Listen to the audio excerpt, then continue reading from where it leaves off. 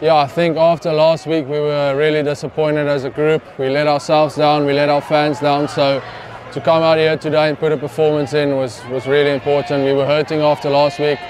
We had a really hard look at ourselves in the week. We worked really hard, so that first 40 is the way we wanted to play. We obviously dropped off then. Some would say we gave the fans some value for their money, but um, yeah, I think disappointed in the last 20, but as a whole, very happy with the five points. We're a proud team. We want to put performance. We we back ourselves as individual, as a team, to put out a performance on the pitch.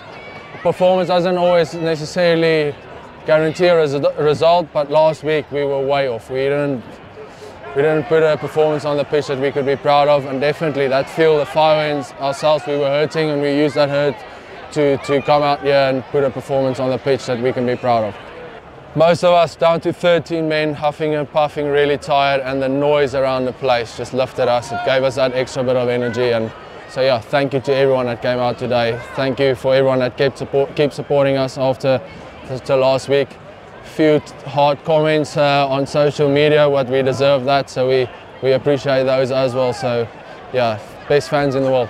Really exciting going into Europe again, where we've been doing well. So yeah, not much change in our in our preparation this week, but it will be a step up when when we come back. And it's Friday Night Lights. How exciting is that to to come out here with the best fans in the world? Friday Night Lights. I don't think it gets any better.